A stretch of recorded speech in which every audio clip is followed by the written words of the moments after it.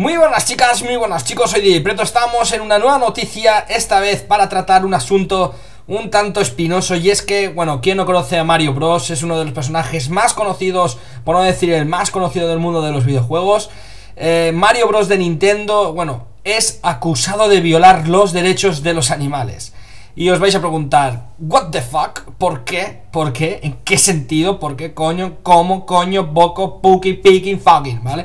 Pues bueno, tanto los gamers más fans de Mario como los conocedores del personaje más popular de Nintendo, Super Mario Bros., eh, sabrán de sobras que uno de los trajes más utilizados por Super Mario es aquel, eh, bueno, el vestido, el de mapache, ¿vale? ¿Os acordáis el típico mapache de Super Mario Bros. 3?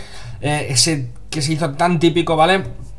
Pues bueno, tras más de dos décadas de juegos en los que Mario aparece con este vestido, peta, y no peta de fumar, la organización en defensa de los animales eh, han denunciado a Nintendo por hacer apología del maltrato animal. Según PETA, eh, el traje que utiliza Mario es de Tanuki, una especie asiática de perro mapache.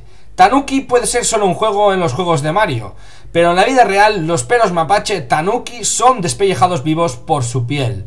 Esto es lo que dice la organización en su página web y dice lo siguiente, los juegos de Mario podrían dar a pensar que vestir pieles está bien. Pues no sé qué pensaréis vosotros, pero yo creo que un juego que está hace 20 años tendrían que eh, dejarlo estar ya, eh, o sea, que no se metieran y no fueran sacando solo mierda para intentar sacar un poco de... Eh, de popularidad, ¿vale? Está bien que haya organizaciones que traten sobre todas las cosas, sobre el maltrato animal, sobre todo sobre lo de la, en este caso, ¿vale?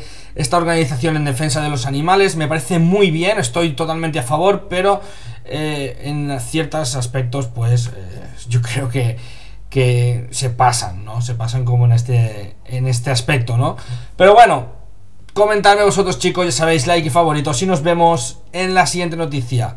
Hasta la próxima.